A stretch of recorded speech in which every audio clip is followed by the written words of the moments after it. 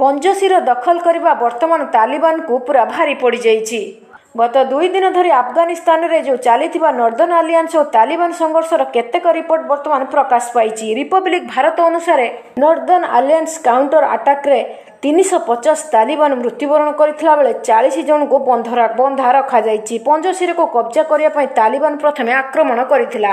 ଏପରିକି ଏହାର ଦୁଇ ଦିନ ପୂର୍ବରୁ ଆମେ କହିପାରିବା ଘାଟିରେ ଇଣ୍ଟରନେଟ୍ ଏବଂ ଫୋନ୍ କନେକ୍ସନ୍ ବନ୍ଦ କରି ଦିଆଯାଇଥିଲା। ମହମ୍ମଦ ମସୁଦ ନେତୃତ୍ୱାଧୀନ ଫୋର୍ସ ତାଲିବାନ ଆକ୍ରମଣର କଡ଼ା ଜବାବ ଦେଇଛନ୍ତି। ନର୍ଦର୍ଣ୍ଣ ଆଲିଆନ୍ସର କମାଣ୍ଡର ହାସିବ କହିଛନ୍ତି ଯେ ତୁମେମାନେ ପଞ୍ଜଶିରରେ ପ୍ରବେଶ କରିପାରିବ ମାତ୍ର ଏଠାରୁ ବାହାରିକି କେବେ ବି ଯାଇପାରିବ ନାହିଁ। ଇଣ୍ଡିଆ ଗୋଡେରେ ଇଣ୍ଡିଆ ଟୁଡେରେ ପ୍ରକାଶିତ ଏକ ରିପୋର୍ଟ ଅନୁସାରେ ତାଲିବାନମାନେ ଗୋଲବାଓ ନିକଟରେ ଏକ ବ୍ରିଜ୍ ବିସ୍ଫୋରଣରେ ବା ଆମେ କହିପାରିବା ବ୍ରିଜ୍ ବିସ୍ଫୋରଣ କରି ଉଡ଼ାଇ ଦେଇଥିଲେ। ତେଣୁ ତାଲିବାନକୁ ନର୍ଦର୍ଣ୍ଣ ଆୟାରଲାଣ୍ଡସର ଆମେ କହିପାରିବା କଡ଼ା ଜବାବ ଦେଇଛି। ତିନିଶହ ପଚାଶ ତାଲିବାନ ମୃତ ହୋଇଛନ୍ତି ଆଉ ଚାଳିଶ ଜଣଙ୍କୁ ବନ୍ଧକ ରଖାଯାଇଛି।